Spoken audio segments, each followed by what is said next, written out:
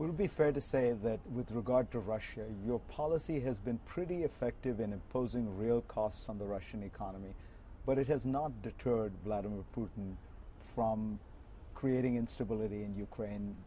Conflict uh, seems to have even escalated in the last few weeks. I think that's entirely fair. Um, and, and I think that is a testament to the bad decisions that Mr. Make, uh, Mr. Putin is making on behalf of his country.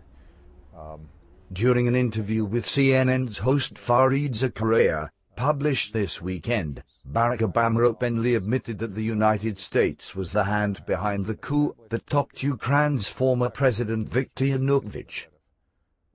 See for yourself. Russia's economy was growing. They had the opportunity to begin diversifying their economy. Their relations uh, across Europe and around the world uh, were sound. Uh, they joined the WTO uh, with assistance from us.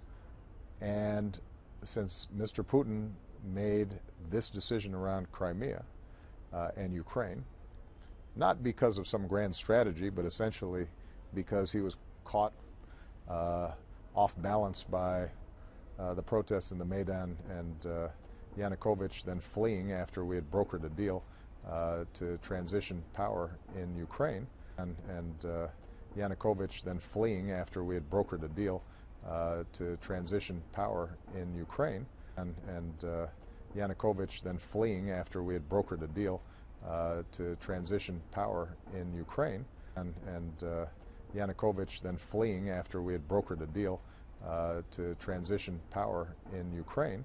Uh, since that time, this improvisation that he's been doing has, getting, has gotten him deeper and deeper into uh, a situation that is a violation of international law.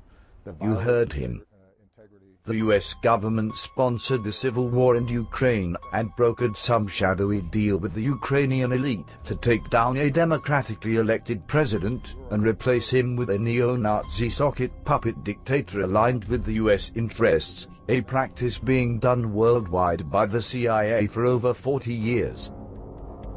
Now how come the US government and its allies, and the mainstream media can keep repeating 24 by 7 that Russia is destabilizing Ukraine and violating international laws, after the very American president have confessed they did it?